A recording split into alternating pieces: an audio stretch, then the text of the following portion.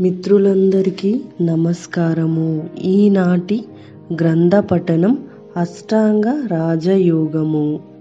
రచించిన వారు డాక్టర్ బ్రహ్మశ్రీ పత్రిజీ. యోగము. యోగము అంటే కలయిక.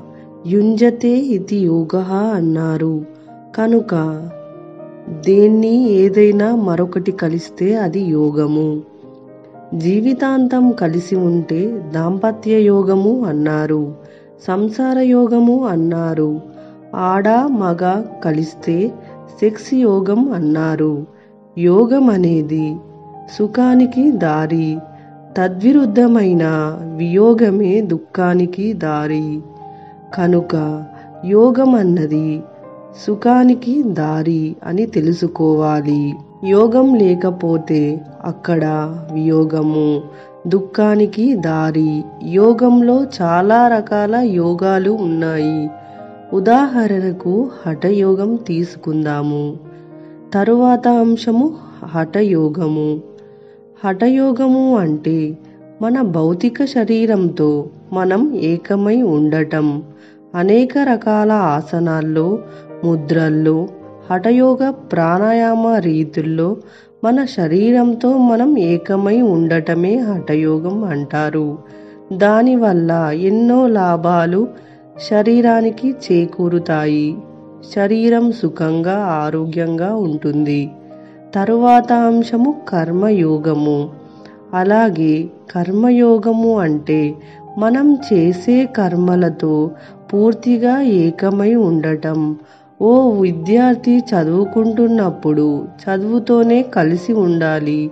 ఓ వ్యక్తి తినేటప్పుడు ఆ ప్రక్రియతోనే ఏకమై మరి నేర్చుకునేటప్పుడు నేర్చుకునే ప్రక్రియతో ఈ విధంగా మనం చేసే ఆయా క్రియలతో ఆయా కర్మలతో పూర్తిగా లీనమై అందులో ఉండటమే కర్మయోగం అన్నారు. యోగ కర్మసు కౌశలం అనేసి కృష్ణ పరమాత్మ కూడా అన్నారు. కనుక చేసే కర్మలలో పూర్తి కౌశల్యం చూపించటమే మరి కర్మయోగము. తరువాత అంశము నాదయోగము. అలాగే నాదయోగం ఉంది. నాదయోగము అంటే చక్కటి సంగీతంతో మనం ఏకమైపోవటం. సంగీత రసస్వాదంలో మనం లీనమైపోవటం. అదే నాదయోగము. తరువాత అంశము జ్ఞానయోగము. అలాగే జ్ఞానయోగము అంటే మహత్తరమైన ఆత్మజ్ఞాన పుస్తకాలలో ఉండే జ్ఞానంతో ఏకమై ఉండటం. ఒక పుస్తకం చదువుతున్నామనుకోండి ఒక భగవద్గీత కానీ పతంజలి యోగ సూత్రాలు కానీ అందులోని జ్ఞానంతో పూర్తిగా సమ్మిళితమై ఉన్నప్పుడు అదే జ్ఞానయోగము.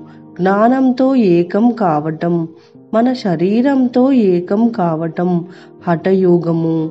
మనం చేసే కర్మలలో ఏకమై ఉండటం కర్మయోగము.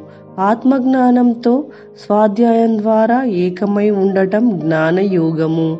చక్కటి సంగీత సుధారసంతో ఏకమై ఉండటం నాదయోగము. తర్వాత అంశము భక్తి యోగము అలాగే మన భక్తి యోగం ఉందనుకోండి సకల చరాచర సృష్టితో ఏకమై ఉండటమే భక్తి. నేను నాది అనేది తీసివేసి ఉన్నప్పుడు ఆటోమేటిక్గా సకల చరాచర సృష్టితో అదే నేనుగా నేనే అదిగా ఉండే స్థితే భక్తి యోగము. అది మనిషి యొక్క చరమదశ. అది రావాలి అంటే మిగతా యోగాలు క్రమక్రమంగా సాధన చేసి సిద్ధహస్తుడైనప్పుడే ఆ అపారమైన నేను లేను. ఐఆమ్ ఎవ్రీథింగ్ నేనే అంతా అన్న భక్తి స్వరూపం తెలుస్తుంది మనకు. దాన్ని భక్తి యోగం అంటాము. అంతేకాని గుడిలో గంట కొడుతూ హారతిస్తూ దాంతో ఏకమై ఉండటం అది భక్తి యోగం కాదు. ఏ శ్రీకృష్ణుడితోనో ఐక్యమై ఉండటం భక్తి యోగం కాదు. కనుక ఈ భక్తి యోగానికి దారి అనేది మిగతా యోగాల ద్వారా వస్తుంది. తరువాత అంశము రాజయోగము. అయితే అన్నిటికన్నా ముఖ్యమైనది రాజయోగము. రాజయోగము అన్నింటికన్నా ముఖ్యమైనది కనుకనే దీన్ని రాజయోగం అన్నారు. అంటే చాలా ముఖ్యమైన యోగం అన్నమాట. ఇందులో దేనితో ఏకమై ఉంటాము మనం? మన యొక్క అతీంద్రియ శక్తులతో ఏకమై ఉంటాము మనం. మన మూడో కన్నుతో మనం ఏకమై ఉంటాము. మన సూక్ష్మ శరీర కారణ శరీర ఇతర శరీరాలతో మనం సదా ఏకమై ఉంటాము. భౌతిక శరీరంతో మనం హఠయోగమైనప్పుడు మన సూక్ష్మ శరీరము కారణ శరీరము మహాకారణ శరీరాలతో ఏకమై ఉండి తత్లోకాలలో మనం విహరిస్తూ ఉండటమే రాజయోగము. తరువాత అంశము పతంజలి. రాజయోగము అంటేనే మనకు వెంటనే పతంజలి మహర్షి స్ఫురిస్తారు. భారతదేశ స్వాతంత్రం అనగానే మహాత్మా గాంధీ స్ఫురించినట్లు మెడిటేషన్ అథవా ధ్యానం రాజయోగం అంటేనే మనకు ఎవరు స్ఫురించరు. కేవలం ఒక పతంజలి మహర్షి స్ఫురిస్తారు. కనుక ధ్యానం పతంజలి ఏకమయ్యారు. మహాత్మా గాంధీ భారతదేశం ఏకమైపోయినట్లు. తరువాత అంశము ఎనిమిది అంగాలు. అష్టాంగం అంటే ఎనిమిది అంగాలు. మీరు ఏ పుస్తకం చూసుకున్నా కూడాను ఈ ఎనిమిది అంగాలు వరుసగా. యమం నియమం ఆసనం ప్రాణాయామం ప్రత్యాహారం ధారణ ధ్యాన సమాధిగా వివరించబడుతూ ఉంటాయి. అయితే నేను మటుకు క్రొత్త పంత తొక్కుతాను. ఎందుకంటే ఇంతవరకు చెప్పబడినది అదే సరి అయినది.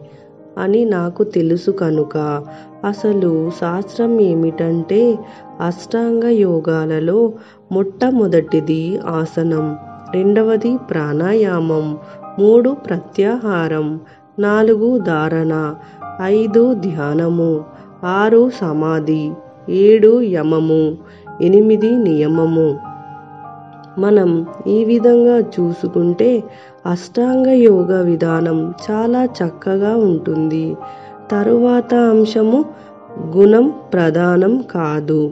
అష్టాంగ పతాంజలి యోగంలో మొట్టమొదటిది ఆసనం.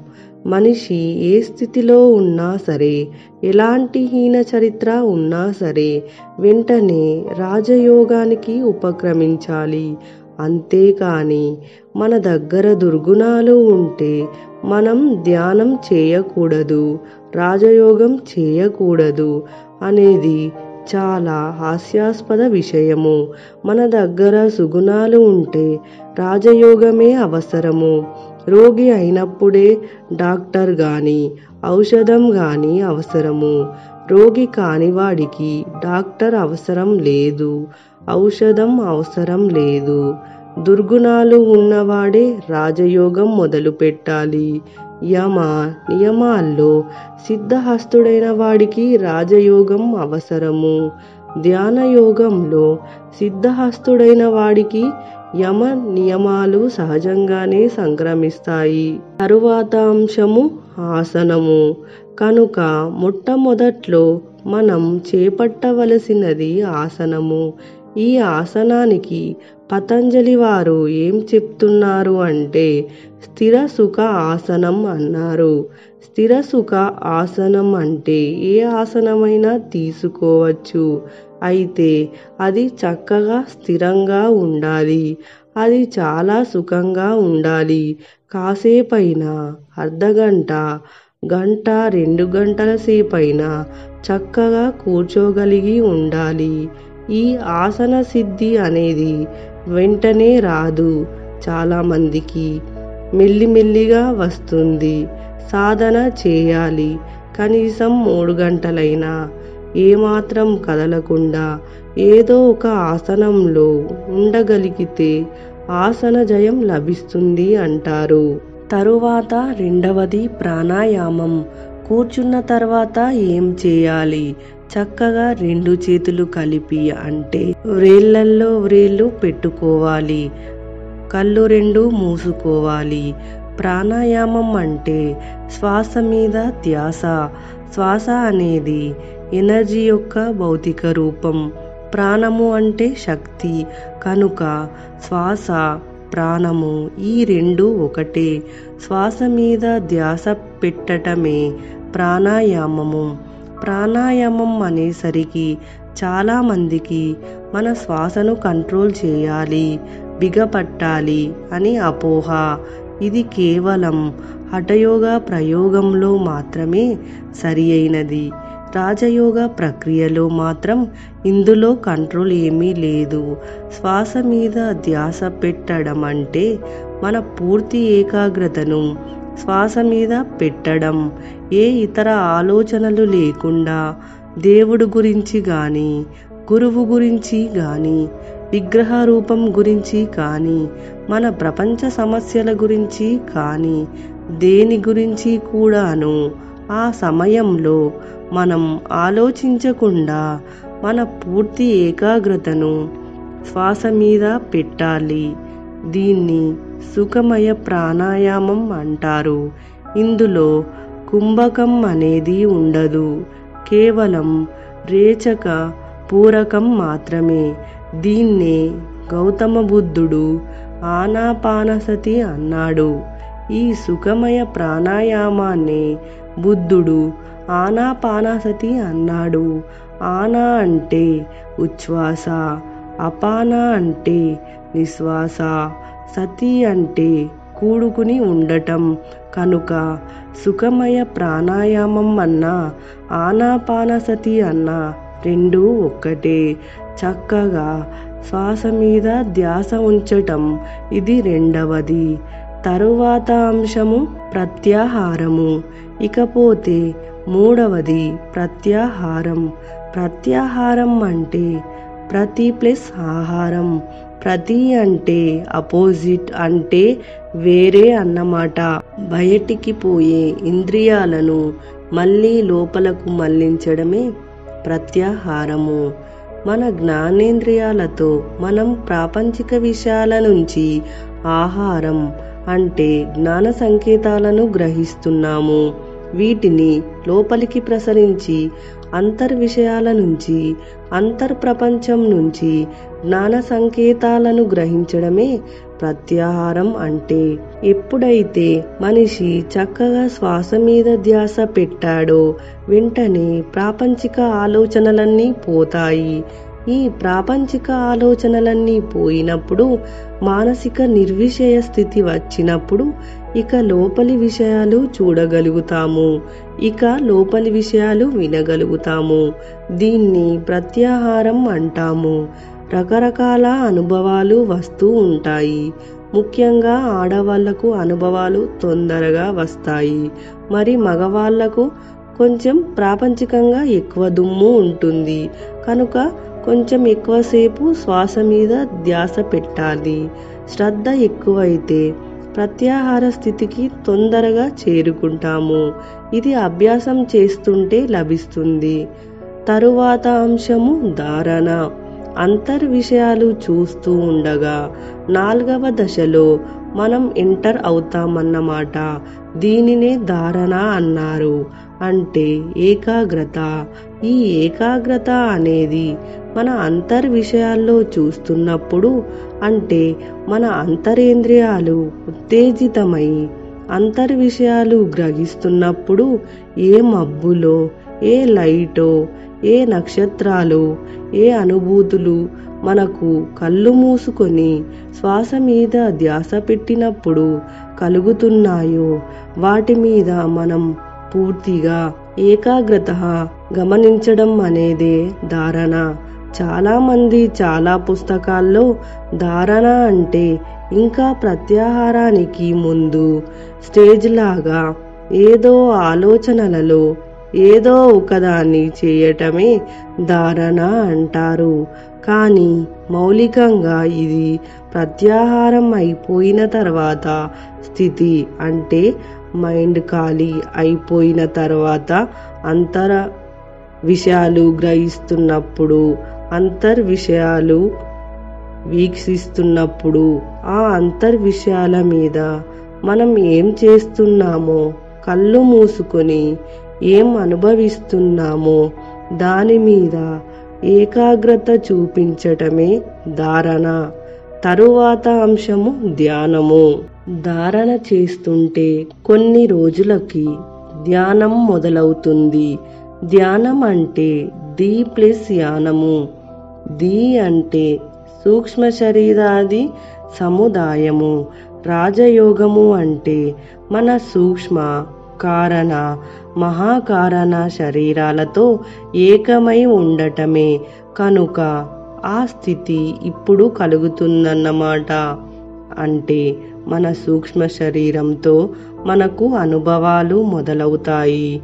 ఇంకా దీర్ఘంగా మహాకారణ శరీరంతో అనుభవాలు మొదలవుతాయి. వాటితో ఏకమై ఉంటాము. అంటే స్థూల శరీరాన్ని వదిలిపెట్టేస్తాము. అంటే అంతర్ విషయాలతో మనం కేంద్రీకృతం చేసినప్పుడు అంటే ఆసన ప్రాణాయామాదుల తర్వాత ప్రత్యాహారం జరిగి లోపల అంతర్ విషయాల్లో మనం మన ఏకాగ్రతను కేంద్రీకృతం చేస్తున్నప్పుడు మన ఆస్ట్రల్ బాడీ విడుదలవుతుంది. మన సూక్ష్మ శరీరము విడుదలవుతుంది. అప్పుడు మనకు సూక్ష్మ శరీర యాత్రలు జరుగుతాయి. అలాగే కారణ శరీరంతో కారణలోకాల్లోనూ మహాకారణ శరీరంతో మహాకారణ లోకాల్లోనూ మనం వివరించగలుగుతాము. అలా విహరించగలిగినప్పుడు మనకు ఎన్నో జ్ఞాన సూక్ష్మాలు తెలుస్తాయి. గత జన్మలు తెలుసుకుంటాము. చనిపోయిన మన తల్లిదండ్రులు మన తల్లిదండ్రులు ఏ లోకంలో ఉన్నారో ఏం చేస్తున్నారో వాళ్ళతో కలిసి మనం తెలుసుకుంటాము. తరువాత అంశము సమాధి. మన ప్రాపంచిక ఆధ్యాత్మిక ప్రశ్నలన్నింటికి సమాధానాలు దొరుకుతాయి. నేను ఎవరు? ఎక్కడ నుండి వచ్చాను? ఎందుకోసం వచ్చాను? అసలు ఏమిటి సృష్టి యొక్క రహస్యం? ఇలాంటి ప్రశ్నలన్నింటికి ధ్యానంలో సూక్ష్మ శరీర యాత్రల ద్వారా మనకు అన్ని సమాధానాలు లభిస్తాయి. ఆ సమాధానాలు లభించే స్థితే సమాధి స్థితి. కనుక ఈ సమాధి స్థితిలో మొట్టమొదటగా మనకు కొన్ని ప్రశ్నలకు జవాబులు దొరకవు. దీన్ని సవికల్ప సమాధి అంటాము. వికల్పము అంటే సందేహంతో కూడుకొని ఉండటం. అయితే కొన్ని సందేహాలతో కూడుకున్న కొన్ని సమాధానాలు దొరికిన స్థితి. నిర్వికల్ప సమాధి అంటే ఇక ఏమాత్రం సంశయాలు ఉండవు. సంశయరహితమైన స్థితి. అన్ని విషయాల్లో సంపూర్ణమైన ఆత్మజ్ఞానం హస్తగతమైంది. అదే నిర్వికల్ప సమాధి అంటే బ్రహ్మజ్ఞానము. కనుక రోజు చేపట్టే ఆసన ప్రాణాయామ ప్రత్యాహార ధారణ ధ్యానాదుల ద్వారా మనకు సమాధి స్థితి రోజు రోజుకు పెరుగుతుంది. అంటే సమాధానాలు అన్నీ ఒకటొకటి దొరకటం మొదలవుతాయి. ఇదే విధంగా బుద్ధుడు ఇదే విధంగా పతంజలి ఆత్మజ్ఞానాన్ని సంపాదించుకున్నారు. ఇదే విధంగా శ్రీకృష్ణుడు ఆత్మజ్ఞానాన్ని సంపాదించుకున్నాడు. ఇదే విధంగా జీసస్ క్రైస్ట్ మహమ్మద్ ఎవరైనా సరే ఇదే విధంగా ఉన్నది ఒక్కటే ఒక్క విధానము. తరువాత అంశము త్యాగరాజ స్వామి. త్యాగరాజస్వామి చెప్పారు ఒక చక్కని కీర్తనలో. అన్నీ నీవనుచు అంతరంగమున తిన్నగా వెదకి తెలుసుకుంటినయ్యా. అంతా నువ్వే అన్న అంతా నేనే రెండు ఒకటే. అంతరంగమున తిన్నగా వెదకి అన్నారు. అంతరంగమున తిన్నగా వెదకటమే రాజయోగము. కనుక ఇది ఒకటే మార్గము. రకరకాల మార్గాలు వాస్తవానికి లేవు. సత్యం ఒకటే మార్గం ఒకటే. ఏమిటా మార్గము అంటే అంతరంగమున తిన్నగా వెతకటము. ఇంకో కీర్తనలో త్యాగరాజ స్వామి తలపులన్నీ నిలిపి నిల్ నిమిషమైనా అన్నాడు. కనుక టెక్నాలజీ అన్నది ఏ లోకంలోనైనా ఏ కాలంలోనైనా ఈ చిత్తవృత్తి నిరోధానికి ఒక్కటే యోగ చిత్తవృత్తి నిరోధ అని పతంజలి ఈ రాజయోగానికి నిర్వచనం ఇచ్చారు. ఈ మనసు ఖాళీ అయిపోవటమే మొట్టమొదటి మెట్టు. దానికి ఈ ప్రాణాయామము సుఖమయ ప్రాణాయామము అంటే ఆనాపానసతి ఒకటే మార్గము. తద్వారా అతీంద్రియ శక్తులు మనకు లభిస్తాయి. వాటితో మనం ఏకమవుతాము. తద్వారా సమాధి స్థితి అంటే అన్ని సమాధానాలు దొరికిన స్థితి లభ్యమవుతుందో. ఎప్పుడైతే మనకు ఆధ్యాత్మిక సాధన ద్వారా యోగ సాధన ద్వారా ఆసన ప్రాణాయామ ప్రత్యాహార ధారణ ధ్యాన సమాధుల ద్వారా ఆధ్యాత్మిక విజ్ఞానం లభించినప్పుడు అప్పుడే మన దైనందిన జీవితంలో యమ నియమాలు సజావుగా ప్రవేశిస్తాయి. యమం అంటే మౌలిక సిద్ధాంతాల మీద అవగాహన. ఏ సిద్ధాంతాలు? అహింస సత్యము బ్రహ్మచర్యము అస్తేయము అపరిగ్రహము తరువాత అంశము యమాలు సత్యం అహింస బ్రహ్మచర్యము ఆస్తేయము అపరిగ్రహము. సత్యం అంటే సత్యం పలకటము. ఆత్మ పదార్థంగా మనం మాట్లాడగలగటము అని. ఆత్మ అనేది సత్యము. ఏదైనా గాని ఆత్మ పదార్థ చూడగలగటము సత్యము. మామూలు సత్యం పలకటం సత్యం కాదు. అలాగే అహింస. ఇక మనం మనసా వాచ కర్మన? హింస చేయలేము. హింస అనేది ఇక మన వల్ల కాదు. ఆ స్థితికి చేరుకుంటాము. అలాగే బ్రహ్మచర్యము సంభోగము సంపర్కము సెక్స్ ఇవి లేకుండా ఉండటం కాదు. బ్రహ్మచర్యము అంటే బ్రహ్మంలో చరించడమే వాస్తవానికి. బ్రహ్మచర్యము అంటే భూరితి బ్రహ్మ చాలా గొప్పదైన మధ్య మార్గంలో చరించడము. అలాగే అస్తేయం అంటే ఇతరుల సంపదల మీద మన కన్ను పడకుండా ఉండటము. అపరిగ్రహము అంటే మనకు అవసరమైంది కొంచెం మోతాదులోనైనా ఎవరి దగ్గర నుంచి తీసుకోకుండా ఉండటము. ఈ విధమైన చక్కటి మౌలిక ఆధ్యాత్మిక ప్రాపంచిక సిద్ధాంతాల మీద మనకు అవగాహన వచ్చి వాటిలో మనం చక్కగా సిద్ధులం అవుతాము అదే యమం అంటే తరువాత అంశము నియమాలు. శౌచము సంతోషము స్వాధ్యాయము తపస్సు ఈశ్వర ప్రణిధానము. అలాగే మన దైనందిక జీవితంలో సరి అయిన నియమాలు చోటు చేసుకుంటాయి. అంటే శౌచము చక్కగా క్లీన్గా ఉంటాయన్నమాట. మన మాటలు చేతలు మన వృత్తి మన జీవిత విధానం మన ఆలోచన సరళి అన్నీ క్లీన్గా ఉంటాయన్నమాట. దాన్ని శౌచం అంటారు. సంతోషం ఎప్పుడు సంతోషంగా ఉంటాము. కలిమిలేముల్లో శీతోష్ణాల్లో సుఖదుఖాల్లో మానవమానాల్లో జయాపజయాల్లో జనామరణాల్లో అన్ని పరిస్థితుల్లోనూ మనం సంతోషంగా ఉంటామన్నమాట. తర్వాత స్వాధ్యాయము. అప్పుడే మనకు ఆధ్యాత్మిక గ్రంథాలు సులభంగా అర్థమవుతాయి. ఏ బ్రహ్మ సూత్రాలైనా ఏ యోగ సూత్రాలైనా ఏ భగవద్గీత శ్లోకాలైనా వెంటనే అర్థమవుతాయి. కనుక దాన్నే స్వాధ్యాయము అన్నారు. వెంటనే అర్థమవుతుంది కనుక ఎక్కువగా చదువుతాము. ఎక్కువ చదివితే ఇంకా ఎక్కువ విజ్ఞానము వస్తుంది. ఇంకా బాగా ఆత్మ అర్థమవుతుంది. తర్వాత తపహ ఇక్కడ తపహ అంటే మనల్ని మనం తగ్గించుకోవటం క్రమక్రమంగా తిండి నిద్ర తగ్గించేసుకోవడం పూర్తిగా తీసివేయటం. ఏ స్థితికైతే మనం చేరాలో ఆ స్థితికి ఆహారపరంగా నిద్రాపరంగా చేరటం. దాన్నే తపహ అన్నారు. ఈశ్వర ప్రణిధానం అనేది చివరి నియమం. అంతా దైవమే. అంతా ఆ దైవ పదార్థమే అంతా ఆత్మ పదార్థమే అని తెలుసుకునే స్థితి. అందులో జీవించే స్థితే ఈశ్వర ప్రణిధానము. యోగ సాధన ద్వారానే యమ నియమాలు పూర్తిగా వంటబడతాయి. ప్రతి క్షణం మనం వాటితో సహజంగా జీవించగలుగుతాము. బలవంతంగా కాదు మనం చేయవలసింది యోగ సాధన.